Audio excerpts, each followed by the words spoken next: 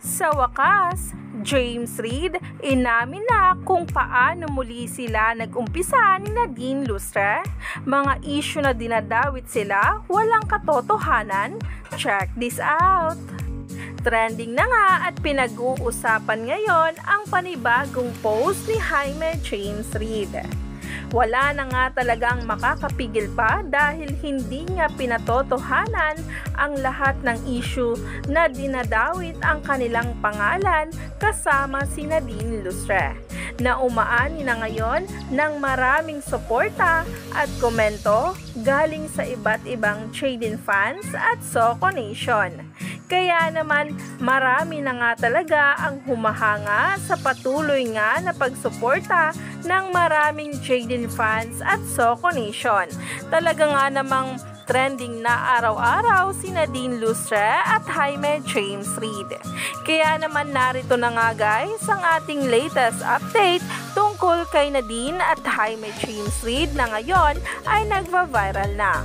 Paano nga ba nag-umpisa ang lahat na binuking na nga sa wakas ng ating Jaime Reid sa kanyang social media account? Narito nga guys ang pagbabahagi ng kwento ng kanilang relasyon ni Queen Nadine Lustre. Ang sabi pa nga sa post, a good romance starts with a good friendship. Na nireplyan naman ni Nadine Lustre ng kanta.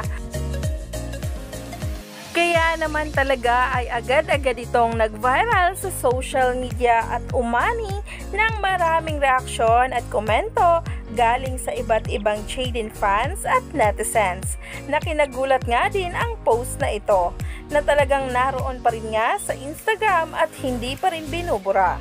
Kaya naman ang mga ebidensyang tulad nito ay nagsasabi nga talaga na ang dalawa ay nasa private relationship at hindi nga talaga naghiwalay. Na agad naman pang umani ng maraming reaksyon at komento galing sa iba't ibang Jaden fans at Soko Nation. Lalo pa nga't ang mga ayuda nila ay agad-agad nagva-viral.